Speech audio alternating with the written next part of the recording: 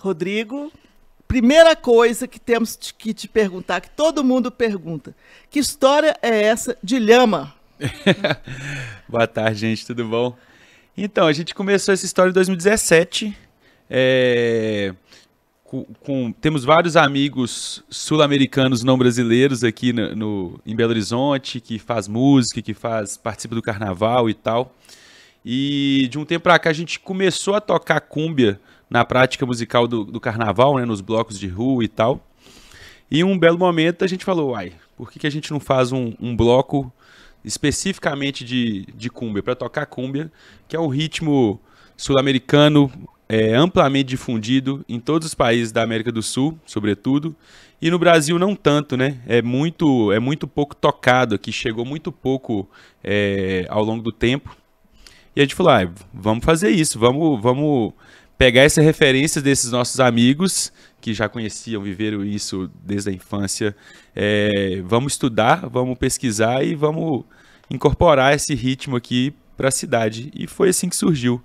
Em 2017 a gente fez o primeiro cortejo do bloco Como Telhama. Carnavalesco. Né? Carnavalesco. Com a, com a prática parecida com o que a gente já fazia aqui no carnaval, né? Que é, o, que é a coisa da banda e, e, e percussão, né? É, percussão de rua, né? Batuqueiros de rua. Passou o carnaval, foi maravilhoso, foi ótimo, todo mundo amou, a gente amou muito. E aí resolvemos fazer a orquestra típica de Lhamas para levar isso para o palco. São quantas pessoas na orquestra? Quantos integrantes? E qual a nacionalidade deles? Porque é um combo latino-americano, pelo que isso. tem brasileiro. Como é que é isso? É, já, já tiveram várias entradas e saídas. Atualmente no palco somos 12 mas contando com direção de arte, é, produção e tal, a última vez que eu contei eram uns 15. 15? Mas quando a gente começou, éramos 18 no palco. Só no palco eram 18. É, aí, atualmente, temos a Cláudia Manzo, que é, que é chilena, que é a nossa cantora. É, o Carlos Bolívia acabou de entrar de licença aí do, da banda por questões pessoais, que é boliviano. Já teve a Chaya, argentina, a Nancy, que foi diretora de arte também por um tempo da Costa Rica, e por aí vai. E vários brasileiros também, belo-horizontinos. E a cúmbia combina com o carnaval brasileiro, combina com samba? Vocês misturam cúmbia e samba? Ou vocês são mais, vamos dizer assim, puristas? Mantém a, a, a, tradição da cumbia até para divulgá-la aqui em Belo Horizonte? Não, a gente mistura, a gente mistura com ritmos brasileiros. É, tem várias vertentes da cúmbia também, variações da cúmbia e outros ritmos que, que estão em volta ali da, da, da coisa da cúmbia. Mas a gente toca também jexá, toca maracatu, porque é, você até brincou, né, que a gente juntou várias pessoas da cidade de várias práticas diferentes, de músicos e percussionistas de vários setores diferentes, né? Então tem muito, muita coisa de maracatu, tem coisa de samba reggae também, de música da Bahia, e jexá, mas a gente tenta tocar o máximo possível de cúmbia mesmo. E aí tem outros ritmos sul-americanos, tem a guaracha, tem, tem o quarteto, que são ritmos também que estão aí próximos da cúmbia. E está acabando o tão propalado preconceito do brasileiro em relação às músicas cantadas em espanhol. A gente tem uma fama aqui no Brasil de ter uma música é, aclamada mundialmente, mas de estarmos de costas sempre para a América do Sul, para a América Latina. Isso ainda acontece? Como é que é? Como é que está sendo a, a, a receptividade ao, ao, trabalho de vocês? Bem, eu acho que isso acontece muito e eu entendo que isso é uma das principais bandeiras assim da, da, da nossa orquestra. É realmente aproximar o Brasil da América do Sul, né? Parece até absurdo falar isso, né? A gente está na América do Sul, né? Mas eu, talvez por conta da língua, talvez. Não, não, vou inventar aqui justificativas, mas a gente de fato é bastante afastado, né? Dos nossos é, vizinhos sul-americanos.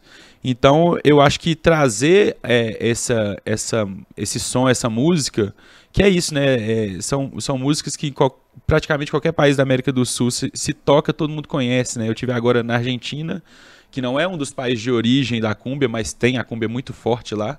E quando eu falava do nosso repertório, as pessoas sabiam cantar ela, todas as músicas inteiras, né? A Chaya mesmo, no período que ela estava na banda, ela ficava assim, feliz da vida, não é possível que eu estou tendo a oportunidade de tocar no Brasil essa música que, sei lá, muitas vezes embalou a adolescência, enfim, fez parte da formação musical dela como um todo.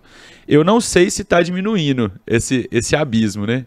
É, mas é nosso, nosso desejo é isso, de, uhum. de despertar para essa questão. Gente, estamos na América do Sul, tem várias coisas acontecendo e vamos, vamos se ligar nisso, né? E vocês cantam em espanhol ou vocês cantam em portunhol? Ou as duas coisas ao mesmo tempo? As duas coisas. As três é. coisas, né? A gente ganha, eh, canta em espanhol, canta em portunhol e canta em português também. Tem várias músicas é, que são do Brasil, né? Porque a ideia também é, é unir a música brasileira com a, a, a, a cúmbia, né? E que, que, existem várias conexões, né? Eh, por exemplo, a cúmbia não, não foi muito difundida, não se difundiu muito no Brasil como um todo, mas em alguns lugares sim.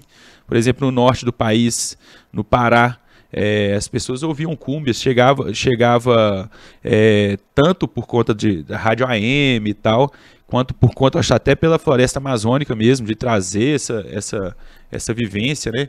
É, então já, já existe uma, uma cúmbia brasileira acontecendo. Então a gente tenta contemplar isso também, não tocando, é, tocando cúmbias brasileiras também, mas tocando carimbó, que é, também não vou me arriscar de, de, de, de, de falar dessa, dessa é, similaridade, mas eu, eu, vejo bastante similaridade, assim, tanto no, no, material sonoro quanto na dança. Tem passos de cumbia que são muito parecidos com passos de carimbó. E eu não acho que isso é à toa, né? Eu acho uhum. que essa uhum. proximidade amazônica ali, com certeza, tem, tem alguma relação. Então a gente tenta fazer isso tudo, né? Tocar cantar em português, em portunhol e em espanhol. E como vai ser o repertório da próxima sexta-feira?